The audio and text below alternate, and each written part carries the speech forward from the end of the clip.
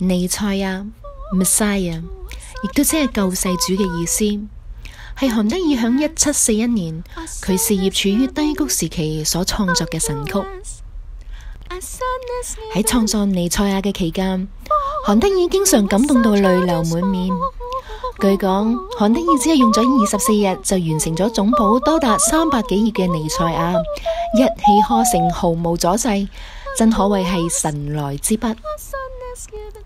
第一次唱尼赛啊，系喺文化中心。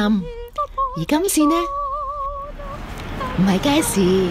不过如果喺街市度唱尼赛啊，应该都会好震撼。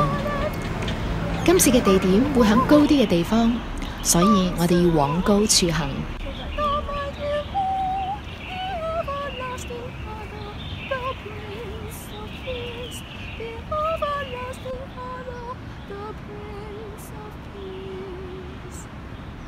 就係呢度啦，